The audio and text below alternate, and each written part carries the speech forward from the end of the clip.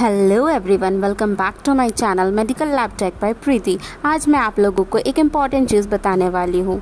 किस टेस्ट के बारे? H B one C test के बारे। H B one C test क्यों इंपॉर्टेंट है?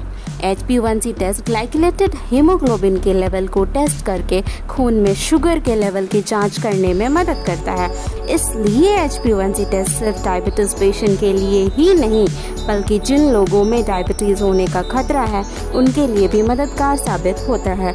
हर मरीज़ में एच का स्तर अलग अलग होता है ठीक है? किसी भी इंसान के लिए ग्लाइकुलेटेड हेमोग्लोबिन का नॉर्मल लेवल क्या होना चाहिए? क्या आप मेरे इस वीडियो के माध्यम से जानकारी ले सकते हैं? जैसे एच का normal range below five percent रहना चाहिए। और प्री डायबिटिक का 5.7 टू लेस देन 6.5 परसेंट रहना चाहिए। डायबिटिक पेशेंट का मोर देन 7.0 टू 12 परसेंट रहता है।